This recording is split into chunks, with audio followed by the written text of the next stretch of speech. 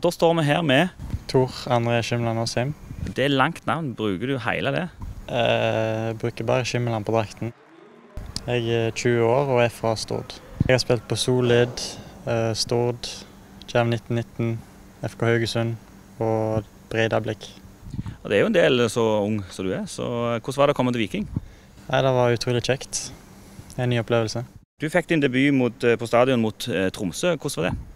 Nei, Det var utrolig kjekt å få sjansen. Hvilken rolle trives du best i, og hva er din oppgave der? Eh, Det er kantrollen. Prøve å skape ting og skåre mål. Så, så hvordan er publikum her i Stavanger? Ja, det er utrolig bra publikum. De har tatt meg veldig godt imot. Og det var utrolig kjekt å spille på den 16. når det var så mye folk.